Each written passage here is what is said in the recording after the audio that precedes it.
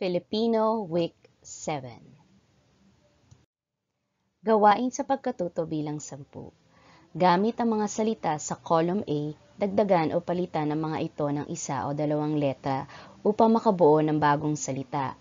Kung nagdadagdag ka ng letra sa salita, ilagay ito sa column B. Kung nagpalit ka naman ng letra, ilagay ito sa column C. Halimbawa, bata, pwedeng palitan, pwedeng maging basa o bato. Baha, pwede namang dagdagan, kagaya ng mga salitang bahay, bahagi. Gawain sa pagkatuto bilang sampu. Tingnan sa screen. Gawain sa pagkatuto bilang labing isa.